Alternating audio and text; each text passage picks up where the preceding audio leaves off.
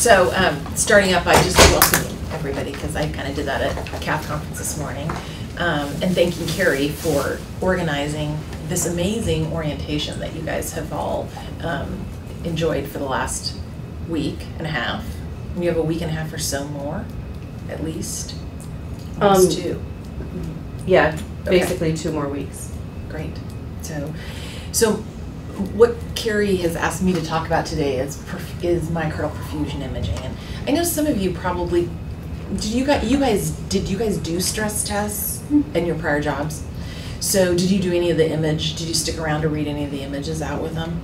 Not really. No, okay.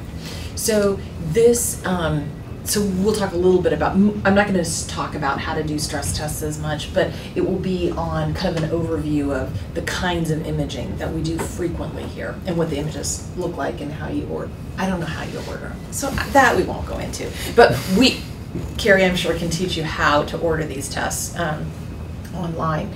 Um, so I'll talk to you a little bit about the patient prep, um, you know, who to call if you have questions, and again, the common kinds of tests that we order. And please feel free, stop me if something doesn't make sense. So, um, talking just briefly about coronary physiology, um, talking about the three main myocardial imaging studies that we do here are um, stress tests, and we use both SPECT and PET. And SPECT is really common, used in a lot of centers, um, used in the community. PET is less so. Um, most places have PET cameras, but they do mostly um, FDG, uh, which is a radioactive tracer, um, cancer imaging with it. But we, we um, have the ability to do cardiac imaging with it. Um, and then viability scans, and again, we can do those using both SPECT and PET technology. I'll talk about more about that with you guys all and the group on Friday. And then inflammation imaging. Yes, Carrie? Respect. Stand for. Go. We'll get to that. um, and so uh, it, those are two different kinds. It, it, it all has to do with the kind of radio tracer that you inject and the camera that you image it on. So you'll you'll see those. I have pictures of it all. So it's kind of starting out, you guys, with just basics of coronary physiology. And this is work done by a guy named Lance Gould um, in the 70s here at the Seattle VA. And as many of you know, if you've lived in this community for a while, that a lot of um, a lot of pretty large advances in cardiovascular, both in imaging as well as the treatment of cardiovascular disease, actually took place in Seattle. Um, and this is one of them. So Lance Gould is probably, I think most people would agree that he's probably the world expert in coronary physiology. And he trained here, trained here with Jim Caldwell and Jim Ritchie um, at the Seattle VA and, and worked here for quite a while. He's now at Texas Heart.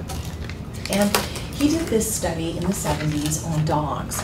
And he looked at, on this axis, it is the blood, the amount of blood flow down a coronary artery. And this is in cc's per kilo, or cc's per minute per gram of tissue. And in the normal resting state. So us all just sitting here, um, we have about one c one cc per um, minute per gram of myocardium of blood flow that's going down the coronary artery. Now, when if the fire alarm went off and the building started to shake and we started to run outside, our heart rates go up, blood pressure goes up, coronaries dilate because you need to increase your cardiac output. So coronary arteries have the ability to dilate, increase flow down them, um, and in response to stress. And so um, we do this either by running somebody on a treadmill or by giving them something that dilates coronary arteries. So, um, and what he showed was that even in an 80, 85% narrow stenotic blood vessel, so this is luminal di- diameter, so stenosis, even in an 80 or 85% stenotic vessel, you maintain the ability to get in the resting state a reasonable one or slightly under one cc of um, uh, per minute per gram of tissue. And, and so that's why, obviously, patients with bad coronary disease don't have chest pain at rest. They have chest pain or they have symptoms when, um, when they're unable to dilate the coronary artery. So what he showed is, is at about 60 or 70 percent st- percent stenosis, and this is the standard deviation. It, it's pretty wide. um, that's when you start noticing that the artery can't dilate adequately. So that's where this whole idea of a 70% lesion is something we should treat. That's sort of where this came from, is Lance Gould and a bunch of dogs in the Seattle VA is to say that a 70% stenosis is considered a functional stenosis. Now, that's kind of gone out the window, and we'll talk a little bit about what that is. So, the whole idea of stress perfusion imaging is we take, we inject a radiotracer that just follows blood flow at rest, and we get a pattern of blood flow. And then we do something that attempts to increase blood flow down normal vessels. And we then can note when an artery is you know, about 70% narrowed or not because it can't dilate adequately, and we'll talk more about that. This has been repeated in humans. He actually repeated it in, the, in 1984. He did a bunch of um, coronary flow reserve, measuring flow in patients who are undergoing open heart surgery in the OR. So this has been repeated in humans. So the whole foundation of stress perfusion imaging is patient comes in at rest. And um, this is considered sort of, think of this as the left ventricle. This is the myocardium um, of the left ventricle. And what we do is, the, and these are my fake coronary arteries that I cartooned in. Um, so we inject a radiotracer that gloms onto blood flow and follows coronary arteries. And even in the setting of a pretty significant stenosis, we inject that tracer and it uniformly is delivered throughout the myocardium. Because again, resting flow is maintained even in a pretty stenotic vessel. Then we do something to dilate coronary arteries. And so you can see these vessels are bigger. Either we've run them on a treadmill or we've given them a drug. Um, we used to give dipyridamole, then we went to adenosine, and now we're considered now we do regadenoson. Those things dilate coronary arteries. And to create heterogeneity of coronary blood flow. So regions that are fed by healthy arteries dilate, more tracer gets to that region of the myocardium compared to a region of the myocardium that's fed by a diseased or hardened vessel, can't dilate as much. Some tracer gets there, but proportionally a lot less. So these are what these are the images that we get. So we essentially look at stress, the pattern of blood flow at stress, and see if that matches the pattern of blood flow at stress. And if it doesn't, regions of reduced uptake that improve at rest, we say, I think that region is fed by a diseased or hardened blood vessel. That's the kind of whole pre premise behind stress perfusion imaging. Does that make sense? Is this stuff you guys know? Because if it is, we can just skip it through. I mean, I, I, we would send our patients to go get stressed, Uh-huh. but uh, working as a nurse on the floor, we never really. Yeah. right, We would read reports, but we never. Never really read. saw what it looked like, yeah. And I remember as a nurse, this will date me, but I remember as a nurse sending people off for dipyridamole or persantine Valiums. And I used to think, wait, how does dipyridamole stress any? Because it doesn't. It's just a di- blood vessel dilator. so really, I remember when we used to give persantine to people who were having MIs or unstable angina because it also has antiplatelet effects. So, um, but we don't even give persantine anymore. And so we do this because stenosis, we can't, I mean, there's been all sorts of studies looking at exercise duration and percent stenosis. And as you can see, there's no correlation. There are some people with terrible coronary disease that for some reason can still exercise a long, long time. And there are some people with no coronary disease who can't exercise hardly at all. So we need something else. And we also know that, you know, a lot of patients will say, well, I just had a cath. Why do I need a, a, a vasodilator stress test? Or why do I need a, a physiologic study too? And that's because you can't necessarily look at a percent stenosis and know the amount that that artery can dilate. There are still, so FFR and, um, and uh, percent stenosis don't correlate nicely. But what we do know is that physiology or the ability of an artery to dilate um, does predict outcome. And so this is um, a, uh, a sub-study of the FAME trial where they took patients that were going to the cath lab with an anticipated need for a PCI, and they were either, once they saw a lesion, they were randomized to either the operator thought that it was a greater than 50% stenosis and sort of saying visually it looks like it needs to be treated versus doing an FFR to help further guide. And what we found here is that patients who had an FFR guided PCI did better long term than people who just had it visual, a visual interpretation. So what we know is you can't just look at anatomy anymore. You've got to look at physiology. So the kinds of ways that we can alter blood flow is we can treadmill people. We can give them, and this is, it's not so new anymore, it's kind of newish, I say. Um, and what these um, drugs do is just dilate coronary arteries and try to create heterogeneity of blood flow. And rarely we do a dobutamine anymore. Um, we used to do more of them in people who couldn't exercise, which is a lot of the patients in our hospital, um, and who couldn't get a vasodilator. And the older vasodilators, people with bad reactive airway disease, we didn't give. Um, now regadenoson is pretty safe to give people. Did you guys gave it to people? Mostly give regadenoson. Yeah. But I do have a question. Do you guys, um, what is your take on giving regadenoson to patients who have a history of seizures? There's that one like case report thing that came out and Yeah. people have. Kind of a black boxy thing. It isn't considered a contraindication. Okay. Yeah, although I don't know that I, I mean, I, I'm sure I've given it to somebody with a seizure disorder, but I don't necessarily rem- remember that being an issue. So no, Yeah. we don't really, Discriminate whether or not to give it based on that. mm. There's really not a lot of things that prevent me from giving uh. Um, except maybe, I mean, obviously if they haven't had caff, if they've had caffeine in the last 12 hours, I'm not going to give it. Um, but it's, I think it's pretty safe and it's very well tolerated. Um, we did an adenosine yesterday for the first time in probably five years, and I just forget how terrible that is for patients. So is regadenoson adenosine without the Yeah, without this is with it's a more selective. Panic? impending doom. Yeah. So, um, when, when, when, so about 17 years ago, um, uh, they hired me to start doing stress tests down here, and we were giving persantine back then. It, it took forever, and you used to have to reverse it with aminophylline. Did you guys use? It wasn't that long ago that. You guys switched. well, at we Prof. still- at Prof. because of the expense of Lexi, uh, we Oh, yeah. still, if- until about a few months ago, we were supposed to use Pristantine Oh, unless we had, unless we could justify like severe asthma. Uh, it just took forever. They, they just are much Yeah. longer tests.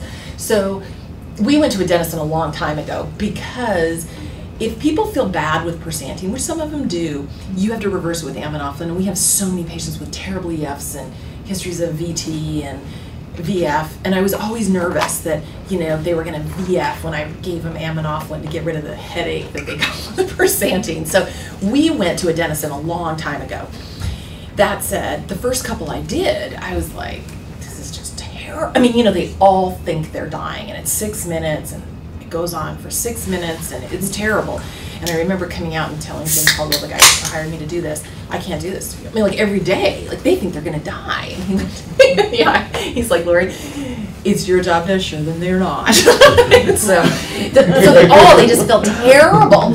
And so, to answer your question, Lexiscan or, or regadenoson is made by the same people who make adenosine, and they undercut themselves so that it's less expensive. It's about um, it's about forty dollars less expensive a dose than adenosine to really encourage people to use it, and it's really easy. Um, you know, there's just a single injection, none of this drawing up pumps, and most patients do okay with it.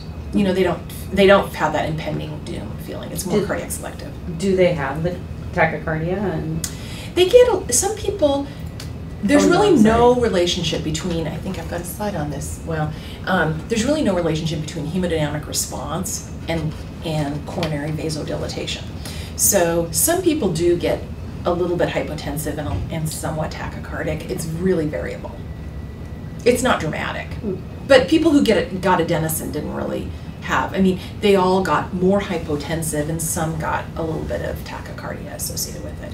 So it's not like the adenosine, you know, that you give upstairs. We're giving like 60 milligrams over five minutes in an average 70 kilo person. So SPECT, Carrie, is called, it's a photon. Essentially, SPECT stands for single photon emission computed tomography. So it's essentially a fancy name for imaging a photon. and photon emitting tracers are really gamma emitting tracers. So gamma is, is the most common photon. These are the three gamma emitting tracers that emit, um, you know, are, uh, are uh, photons. and that is thallium, sestamibi, and tetrofosmin. And so thallium was the first tracer, and so that's why still people say, you know, I want to stress thallium. Well, we stopped doing stress thalliums here in 1994, um, but you know, you guys will work with Dan Fishbein. He'll still say, you know, do a stress thallium. We don't do those. You know, we we stop giving thallium to people as. You know, they just people forget. And there's still people who will write. You know, you will work with attendings. Well, some of our older ones aren't going to do the CCU, but they'll say do a persantine thallium, and you know, we don't do any of those things anymore. Um, but when thallium was the only tracer, it was a really good tracer. Um, and so it's a potassium analog, and we still use it for uh, viability studies, and we'll talk about those. The two, um, the two are newer generation um, studies. Our tracers are sestamibi, and again, people will say, Dan will say, we'll do a stress MIBI. we ne we've never used MIBI here, and he's only practiced here, so I don't know why he says that. he must read the literature, and it talks about sestamibi. Um, these are essentially comparable tracers, and we just have a contract with Cardinal, and we get the tetrofosmin. Um, we've never used MIBI. Um, but you'll still hear people say, you guys use MIBI, yeah. Well, maybe he has a secret life, but he's, he's hilarious for saying that. Do a stress MIBI. So we don't use stress MIBI. Um, we use tetrofosmin, and these are just generic blood flow tracers. Um, and we, in people who are normal body habitus, and we define that pretty loosely at men under 240 or 250, women under about 200, um, we can accomplish this all in one day by giving them a low dose of the tracer for the resting images, and then take a set of pictures, and then do the stress study or create heterogeneity of blood flow, inject three full dose, higher dose of this of the agent. Um, and so essentially you're comparing a low dose of tracer at rest to a high dose. For really big people, um, it's a two-day test, and so again, we do same dose, high dose on two different days. The half-life of these of the uh, the tetrofosmin labeled tracer, technetium 99 labeled tracers, is about three hours, um, and so you know within a day, it's the other doses are kind of gone. Um, you guys will order a reasonable, I mean, the CCU right now orders a, a reasonable amount of stress uh, uh, of these studies. Mm -hmm. So, do these tracers just have an affinity for the coronary anatomy? No, great question. There are generic blood flow tracers. So that's why there's a slide in here that says they do have to be NPO for six hours and and people, you know, there's a lot of things we keep people NPO for in the hospital for six hours, and or we say they have to be NPO. Well, and the only reason is that if they decide to try to die during it, you know, they vomit and then they could aspirate. So this is one of those tests, though, that if they're not NPO and they've just eaten a big meal, all the tracer goes to their gut. You lay them down, their gut comes up, and they, it just shadows the whole inferior aspect of their myocardium. So you get less good pictures. So the NPO status in these people is because of the tracers, not because something if something bad happens we you know because there's a lot they say for stress echoes they need to be npo well there's really no um, there's no physiologic reason for that it's just that in case something happens you know they have the big one when you're stressing them. Yeah, they have the big one. But our test, it really does matter. For any of these perfusion imaging, the NPO status is really imperative. So these tests take about three hours. You know, you give a low dose, you wait, you take a set of pictures, you stress them, you wait, and you wait because these tracers sort of have to clear out of the bowel or they clear out of the bowel and the liver more rapidly than they do out of the myocardium. Do you feed them after? We don't. Some people do, though. Um, that is the one difference. MIBI, that if you get out the package insert of MIBI, it says to feed them. Myoview, it doesn't. And nobody can really reconcile why that is. So we typically don't. If we take the first set of images, Catherine, and they're just awful, we will give them a little something to eat. Um, and sometimes it helps and sometimes it makes it worse. Did you guys feed them? Definitely. And yeah. the images were so much better after they'd eaten and See, we go back and forth, but because the tetrofosmin people say no, the chief has always been kind of against it. There's a whole there's another little study that we reviewed last spring that looked at give them seltzer water or carbonated water, and that after, and that that helps sort of move the bowel away. But no, we, We don't tried that. typically. That. Did you guys try that? Yeah. And they went back to feeding. Feeding. Mhm. So the whole takes takes about three hours, and then um, this we'll skip this for um, brevity of time. So, um, so we do s- probably seventy percent of our stress work here is in using SPECT, and about thirty percent is PET. We do about six to eight rest stress PETs a week, and um, PET stands for a positron. So rather than a photon, this is a positron emitting um, tomography or com- computed tomography. This is what the PET camera looks like. Um, the bore here is um, is about 38 inches. So if somebody's really big, they don't fit in it. But overall, and the vat, we have one PET camera here. The vast majority of the time, it's used to do um, cancer imaging. But we do have, like I said, do a reasonable amount of PET imaging. So the um, the PET tracer that we use is rubidium. Um, we used to use N13, and the, one of the reasons why cardiac PET imaging. So these are again blood flow imaging tracers. Um, is rubidium? You need a cyclotron on site to make. So there's not a lot of places that have a cyclotron. Now the University of Washington does have a cyclotron. We have a big cyclotron in the basement here. We have a huge radiochemistry department, and they make, in fact, um, they make radio tracers for all sorts of different types of studies. Um, and so they used to make us ammonia. For about a decade, they made us ammonia. Um, the problem with that is that it um, they could only make us so many doses on so many days of the week, and um, it really didn't it, it didn't meet the demands of the st- the studies. So we then the only commercially available um, PET tracer is rubidium, and rubidium is um, so cycle you need a cyclotron to make this and really what they used to do is make it in this cyclotron.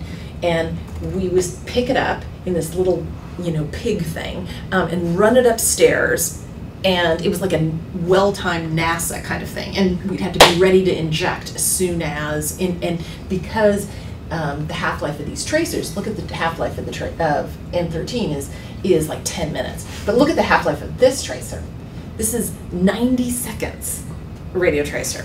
So rubidium is commercially available, and the way it's commercially available is you buy a strontium generator that gives off rubidium, and we have one delivered here um, once a month. Costs thirty thousand dollars. So you have to have a reasonable business to make this a profitable venture, um, and that's why the private private groups, you know, just aren't going to do this because you have to do a good number of, of these scans. Um, but the half life is crazy short, um, and so we'll talk about some of the very good parts about why we do PET imaging. So patients again in the bore the um, strontium uh, generator is hooked to them. You deliver a resting dose take eight minutes of pictures.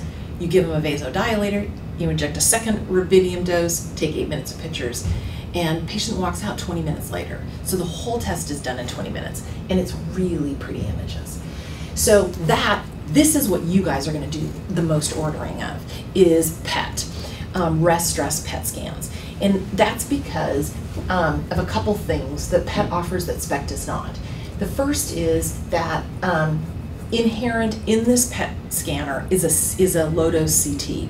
So that before the rest images and before the stress images, they do a low low dose CT, and then using mathematical this mathematical modeling, it will take the PET images and be able to subtract. It knows between the heart and the camera head at this angle the kinds of tissue that that um, positron had to go through. And it mathematically calculates subtracts it out. So it says it went through this thick of a, a sternum this much breast this much lung and it makes mathematical corrections for that. So you get really really pretty images even in really big people in minutes. Um, the second thing is I'll show you, and this is not commercially available everywhere, and in fact, um, but we can we can quantify coronary blood flow. So going back to that Gould plot, the, the, the idea of SPECT, it's a pattern to a pattern. It's not precise. You miss balanced three vessel disease, you miss small vessel disease. Um, but PET allows us to draw a region of interest and say how much tracer got there at rest and how much tracer got there when all the arteries should have dilated two to three fold. So we can actually pick up patients, a lot of the patients that will be on you guys' service will people with, we know, diffuse coronary artery disease, disease in every vessel. And we want to know what's the worst. Um, you'll take care of post-heart transplant patients who you know has, you know, post-transplant vasculopathy, who you're going to completely miss with PET or SPECT. So we are able to quantify blood flow and show you what that looks like. It's not so much probably for a lot of the patients under you guys' service, but the radiation dose is just extremely low. I'll compare it for you, and we can do it all in 20 minutes. So it's really, and because we have this strontium generator always right here, you guys can call and say, hey, we got this patient upstairs, they need a rest stress. And likely we can fit it on because it takes 20 minutes and we can just put them on between cancer patients um, at any point. So again, they need to be NPO and we can't hook it to a treadmill. Um, many of your people aren't going to be treadmilling kind of candidates. CARD B patients might, but um, it, it's only vasodilator because of the half-life of these tracers. You actually have to be in the tomograph when we do whatever we're going to do because you don't, in that minute and a half, you don't have time to inject, get them off the treadmill in the PET scanner. So, go ahead. Um, so is this generator used for all the PET studies? No, just cardiac imaging. It's just a blood flow tracer. So just cardiac. So that thirty thousand dollar expense, you guys do enough of these per month to make that? We Oh. do. They are expensive though. So a s an average SPECT scan um, here is about six thousand dollars. So most most and nobody, of course, nobody pays that, but that's what's charged. Is for rest stress SPECT is about six thousand dollars. For a rest stress PET, it's about nine. So it's it is considerably more expensive. It's gotten less over the last year and a half because we do more and so they actualize the money over a larger they readjust the rates once a year. So is that the only reason then cost why more people don't order Yeah. the pets? Absolutely. Okay. Because it is let me tell you, I would want one. If I was if I needed a rest stress vasodilator study, I would much prefer to have a 20 minute test with a third of the radiation. Um, yeah, so it is just that the volume It's more accurate. It's definitely more accurate. It's more. It's it's been shown in studies to be small studies to be more sensitive, to be more um, specific. It's a much better. But because it's not widely available, people just sort of go, oh well, you know. So a lot of the insurers, Medicare will pay for it, and most insurances will pay for it in patients with established coronary disease or heart failure. Um, Medicaid won't ever pay for it. So the only patients, and you guys, most of your, your inpatients, it doesn't matter what kind of insurance they have. We'll do anything on an inpatient except a Medicaid patient because Medicaid won't pay for cardiac PET under any any um, uh, conditions at all. Mhm. Um, oh crap, I lost my question. PET. Yeah, um. I Okay, it'll come back. it, Yeah. So look at the radiation doses. So when we really Oh, that's what I was gonna ask you Oh. about the millisieverts. Okay, here we go. Millisieverts. Average Seattleite. Those of you that have recently moved to Seattle, I think it's a little higher than maybe where, where you were previously. but and it's certainly this summer without the cloud cover or with. Um, but three millisieverts is what your average Seattle resident gets every year. Um, stress found so for decades, the reason why stress perfusion imaging came into its heyday in the 90s and 2000 is because um, once thallium was, wasn't the only thing, and we actually had technetium added, we did what was called dual isotope studies forever and ever, we gave people thallium at rest and then immediately stressed them, giving them tech. But look at the radiation doses associated. I mean, we did this, this is when people were having two or three a year, lots, lots of radiation. Like this is what, this is what a pretty good whole body's chest, abdomen, and pelvis CT is. it's a lot. Um, this is what your average sort of, uh, I'm sorry, this is a low high, and this is a two day. This should be a high high. So this is a two day. But so your average low high, maybe that you guys were doing, is about 13 millisieverts, um, which isn't too bad. But look what a low to look at what a pet is. It's six. So it's just it's in the big picture of life. I think it will ultimately replace SPECT. And How much do you get when you go on an airplane? That I don't know. Okay, so we'll just go over some cases. Um, so you guys, these are the things that a study will tell you, LV size, LV function, is there ischemia, extent, location, severity, infarct, extent and location, and if, of course, they did a, um, so rest images, stress images, and, um, so let me say, I'm downstairs every day. And if you, and most of the attendings will still call me and say, Lori, this is the scenario. What do you think's the best test for this person? So please just call downstairs, um, ask for me, page me. Um, I have a fellow or two down here all the time. But it, very commonly, people will call and go, you know, so this is the scenario, this is the question I want answered, what's the best test to have done? So feel free just to call at any point. Um, and also, you're welcome to come down and look at the images, and a lot of the teams do. How much is it? Much, much less. So somebody that's like a flight attendant gets two point something. I see. No, I'm so sorry, you two that moved to Seattle. I'm starting to No, no, regret that's- here. that's for air flight. No, that's just Oh, that's an air, oh, that's just an Per flight. No, per, per flight is two point three eight microsieverts Oh. To the negative third.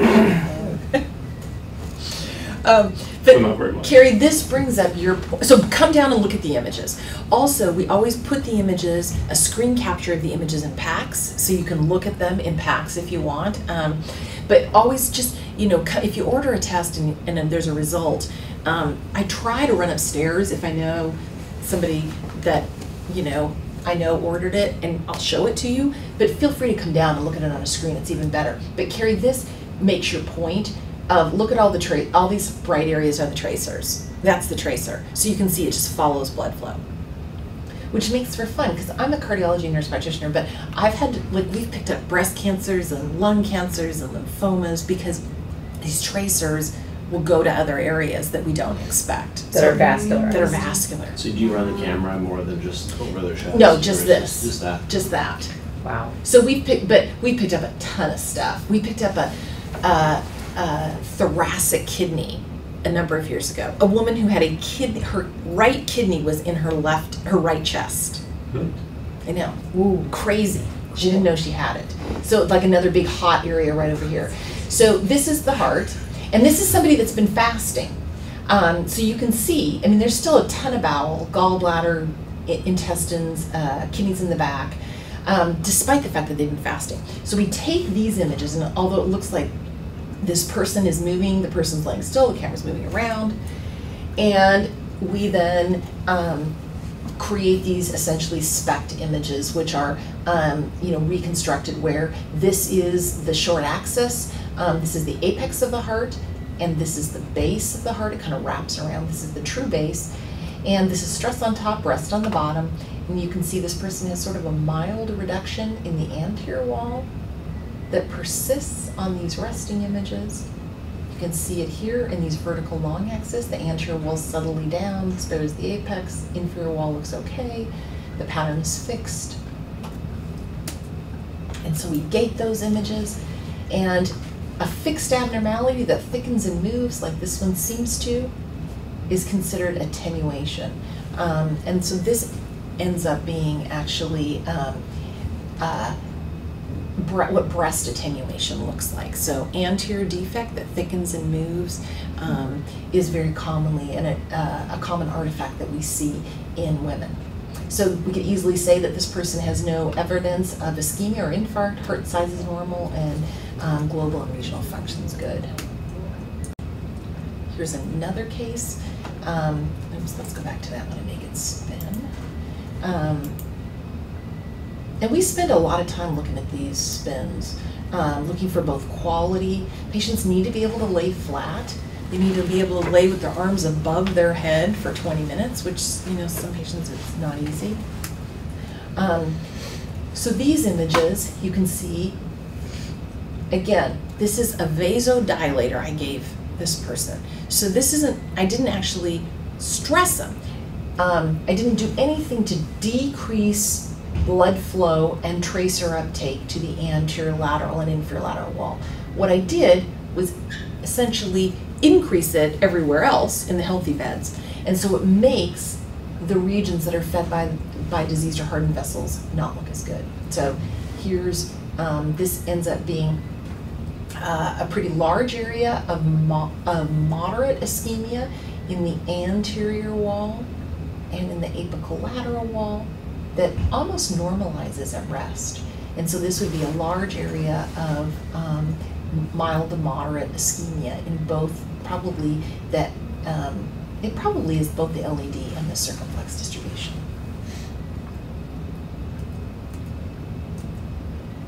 Um, here's another one. So this is what an infarct looks like.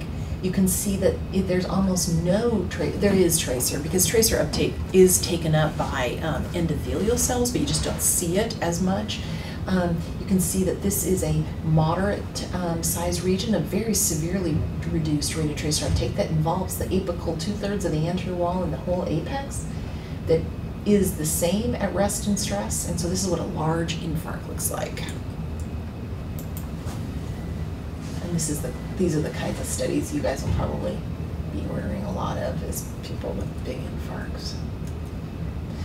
So this is a, this is a PET scan. So um, again, the images look just the same, um, except that you notice that there's a lot more of them because we can we cut it small, false or uh, far smaller um, segments. So the thickness of the slice is a lot more, so you see a lot more images. And for those of you that haven't looked at a lot of this, this won't mean a much, uh, much but um, people that have looked at a reasonable amount, this is a 370 pound man. Um, and these are really nice images in a really big person, accomplished in 20 minutes. Um, and you can see a very severe defect that involves the entire septum, apical anterior septum and apex, that just totally normalizes at rest. And in addition, the whole inferior wall is very severely down and normalizes at rest. It's a really good example of very severe ischemia that involves the, you know, apex, anterior septum, and entire inferior wall. And the other thing that this one does, and you guys will, will see this in reports, you'll hear people talk about it upstairs, but if you look at the cavity size, so see how this is a pretty normal cavity size, and look how much bigger the cavity appears here. This is what we call TID, which is called transient ischemic dilatation. And it's a sign, not, in this case, it's not a huge deal because this person you know has multivessel coronary disease, but TID means that it looks like the cavity is bigger at stress than at rest. Um, and that can, is a sign of multivessel disease. And it's not really that we made the cavity any bigger, because remember, I just gave them a vasodilator where they're laying on a table. It's that the tracer gets hung up in the in the in, um, uh, kind of outer areas of the myocardium don't diffuse into the subendocardium, and so it makes look like the cavity is larger. But you'll hear people talk about that upstairs. In terms of the um, the progression of the images from left to right, Mhm. what exactly does it represent? It if you're looking from left to right, apex, base, okay, and it wraps around here all the way up to the base. okay. And if you're ever sitting up there and there's always little um, things here. uh, So this says lateral wall, anterior wall, um, septum, and inferior wall. And typically there's an arrow that says apex, base. so there's actually, you know, kind of signage. Um, but this is the kind of stuff. Now, not that again, the quantification isn't necessarily isn't necessary in this guy. This guy's going to the cath lab. This guy's going to an operation. This guy's going to have something done. Um, but these are the examples of the numbers that we can get. Um, and this is not FDA approved. We don't charge for this. This is, but it's been it's, it's software that has been created here by Jim Caldwell, who's now an emeritus professor, and one of our engineers, Adam, Dr. Adam Alessio, who works with me. And we, we do this by hand. I mean, I do it by hand, but it's using um, pretty extensive mathematical modeling that they validated and published, where we look at actually blood flow, and again, this is cc's per gram per minute, or per cc's per minute per gram of tissue. And you can see at rest, remember we said one is about normal, so it's pretty good. So the vasodilator should augment flow to two to three fold. And so as you can see here, the base and the mid LAD, he can. But the apical LAD, in fact, he goes the other way. Um, and you can see how he actually develops steal. He actually gets worse in the blood flow in his inferior wall. And you know, you can visually see that there, but that actually, so these are the kinds of numbers, and then we calculate a CFR, which is an, an average or normal CFR is two. So this is an example of the numbers that you'll see, and this isn't, there, most attendings are still kind of getting used to. Doug Stewart orders a lot of these. He loves these numbers. Um, but most of the other attendings um, are still kind of getting used to what this all means, and we talk a lot about it as a group. What does CFR mean again? Coronary flow reserve, so the ability okay. of that coronary artery to dilate. Um, so you can see here, the circumflex has relatively normal resting flow. Anything about two, two and a half is normal um, for stress. And the CFR, which is a ratio of this, is normal. And we visually say, yeah, that circumflex probably looks good. Um, but these two, the LAD and the right, are bad. And- in the report, we give all the references, all the normal references, so you can see this. So, very useful test in people with diffuse coronary disease or transplant patients, and that's our two majors. So, Dan and Kevin and Wayne and all those, the heart transplant April, all order these frequently in their post-heart transplant patients because they get small vessel disease that you're gonna miss. This is an example. So this is a rest dress pet. It looks pretty good. I mean, there's no dramatic, you know, maybe the base of this person's inferior wall is a little bit down, but it's fixed. This is probably a little down, but it's fixed. This all looks pretty good.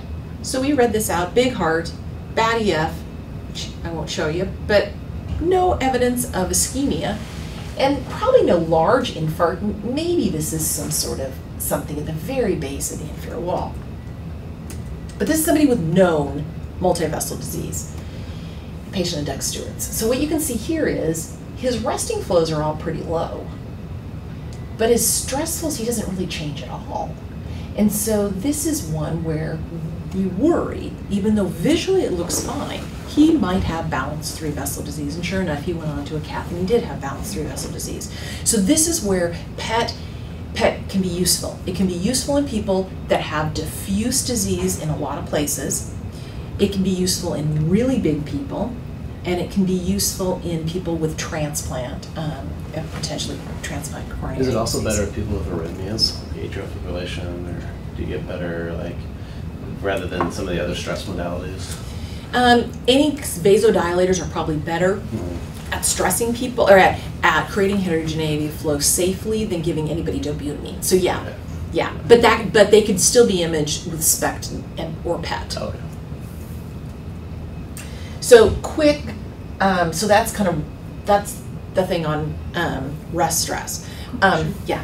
So do, do the interventionalists ever use that CFR data to determine if the, is significant enough to stent? Do they use those numbers or do they still use FFR and ultrasound and stuff? they will they do a combination of, of all of it so here we have ffr but we also have imr which is looking for sort of small vessel disease so yeah our, our inner it, it depends doug stewart is a big proponent of of pet he loves Mhm. pet and he will take someone to the cath lab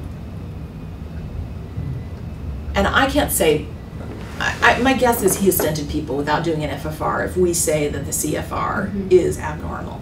Um, the Creighton Don is another one that kind of uses it. Um, some of the other people don't use it as much. But Doug is a huge, he really likes this. He really likes it, yes. Is there any reason why, since it's been validated a bit and stuff, that you guys don't pursue FDA? Well, there is, there are two FDA-approved programs. Um, and so I think Jim retired and Adam is young and he, I think it's just a lot of work to get things FDA approved.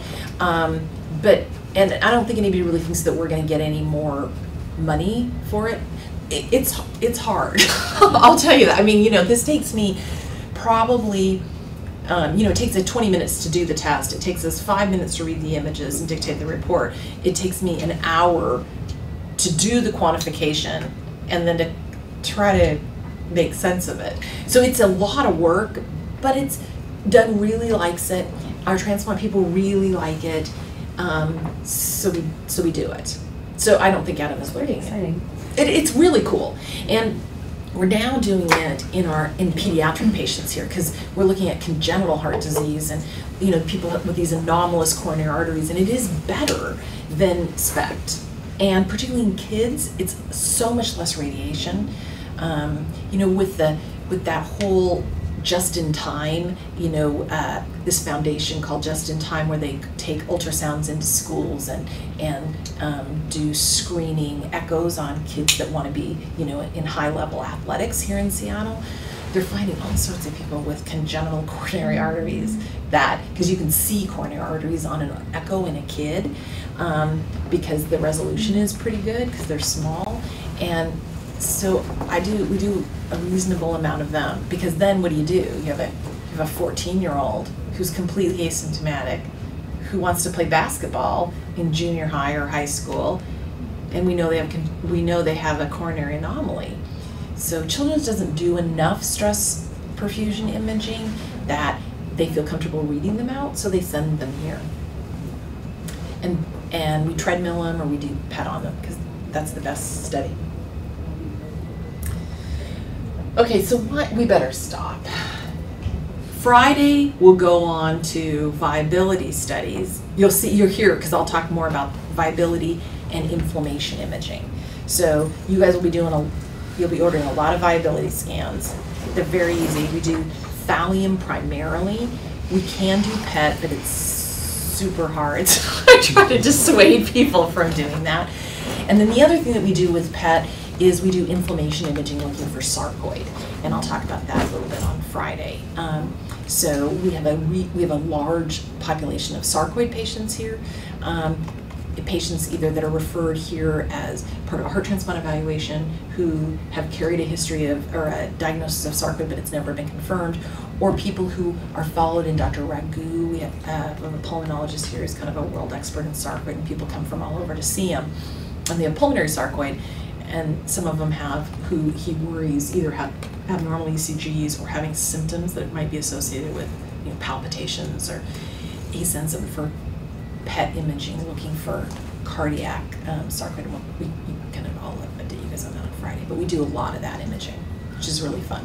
Do you give Lexiscan to people with sarcoidosis? Um, no, we Because they can have a flare, right? well, I have given some no, but you, these we've given. I've given it as part of a stress test. I've never. I didn't know it could cause a flare. Can it? Oh, really? So we actually, Pete Sutcliffe and I actually, you know, looked it up and got some, I forget what the name of the medication was, and had the bag hanging just in case. Really? Yeah. Oh, Catherine, that's good to know. I didn't know that. I'll text Pete today and Ask ask him him. what, what the stuff was. It was really, really expensive. So what this is, so what PET imaging is for sarcoid, it doesn't involve any vasodilators. It, it's two tracers. It's rubidium, which is that flow tracer, Oh, right. and FDG, which is a glucose radioactive tracer that goes to inflammatory cells. So we don't do any drugs for them. We just take, we inject two radio tracers and take two set of pictures looking for inflammation. Okay, right, okay. Yeah. That makes sense. And people come, you guys, Elena Minami would send people here all the time for pets for, mm-hmm. so the Everett Clinic would send people here for these scans because, the inflammation scans, because they don't do them really anywhere else. And they're really, really slick, because there's nothing, it, diagnosing cardiac sarcoid is super hard. Which reminds me that she's coming back. when I was interviewing you, Catherine, I think you mentioned her, and I thought I kind of knew that it was close that she was thinking about it at that point. I don't know if you did, but I was like, oh, I can't say anything, but she's coming too, so you need to come too. No, I knew that. Oh, you didn't know- okay. You knew. Yeah, yeah, when you guys will work with her too. Okay. I know. That's Right? okay. Yeah. We like Alina Minami and all the other attendings. Um, okay, so, other questions you could, just, we'll, we'll talk about thallium and these inflammation imaging, um, on Friday, because the fellows don't know, don't know much about that either, so. Okay, did, did I cover things that you guys knew? Or new, these are new Some things? Some. Yeah. Okay, bring something to read on Friday. it won't always, it won't be the same, but I'm, I'm adding. That's No, that was great, Lori. That Thank you so great. much. Thank you. Did you ever give um give a cup of coffee instead of aminophylline? Yes, we used to do that Oh. when I first started down here in the late '90s. Then the hospital like told us we couldn't give patients coffee. Oh, They, I mean, it was money. I think yeah. they were like, we can't serve people coffee. We use Coke in the clinic. Yeah, we use coffee or Coke. Any really? pop, really. Yeah. Well, is the caffeine. Caffeine. Yeah. And the probably the effervescence of that would make the bowel move away too. I don't know. It's, But it requires someone to actually make the pot of coffee and like keep it going. So. I know, but I would do that. But they were like, you can't serve patients coffee. And I'm like, but it's an antidote. So the slick part about Lexiscan is, is you guys know, it's a 12 hour, in contrast to the dipyridamole or the adenosine, which is 24 hours, you need to abstain from caffeine or, uh, or any xanthine containing product. Um, Regadenoson is really 12. They've done studies to look at eight, and that's not sufficient, so it really is 12. That's great. But always feel free to call and always feel free to come down. Card B orders a lot of these tests. Um, and always feel free until, you know, you've kind of, till you can kind of picture in your mind once you've read the report. Um, it, it, it really does make a lot more sense if you just look at a lot of these images. I have one more question for nuance at heart failure. Um, patients who are able to tolerate it, do they typically send them to cath or do they um, do stress imaging first for nuance at heart failure? Determine if it's ischemic or non-ischemic. It's Do you know? pretty, it's, it is variable. Yeah. This is the thing, though. So it's nuance at heart failure. Most of the people that get sent here have already yeah, they failure. don't. They either have so they may have been kept a long time. So they may have been kept a long time ago. What you're more likely to see is somebody with a non-ischemic cardiomyopathy comes in with worsening heart failure. Let's say they've had a non-ischemic cardiomyopathy for 10 years and been followed here intermittently and in the community. And they come in for a worsening exacerbation and they have diabetes and they're obese. And all of a sudden somebody says, you know, look, nobody's looked at their coronaries since they were diagnosed 10 years ago. Mhm. Now that's where Beth, you'll see a diversion of opinions. There are some attendings that say, uh, their coronaries were okay 10 years ago, let's just do a rest stress PET. Mhm.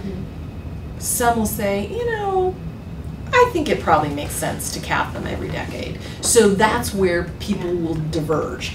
Um, but I would say the vast majority would go the non-invasive route if they've had an, if they've had known clean coronaries, but it was in the past. Because we definitely have people who have had longstanding non-ischemic cardiomyopathies who develop coronary disease. I mean, developing coronary disease is a common thing. So, um, so that's where they may do. And SPECT, in anybody with a cardiomyopathy, SPECT tends to be sort of lumpy, bumpy, kind of not as great images. Even in really thin people, they still sort of get this patchy uptake. And people have sort of pontificated as to what, why that is. I think what makes most sense to me and the people I kind of believe, it seems that, you know, you can imagine cardiomyopathies have sort of patchy fibrosis. And so, you know, their myocardium is part scar, part um, normal myocytes. And so that, I think that makes the most sense as to what accounts for that. Um, but regardless, they have patchy uptake. And so PET is a higher quality scan. So many people will go to a PET. Cool. Thanks. Yeah. Thank you so Thank you much. so much, Lori. You are welcome. It was amazing.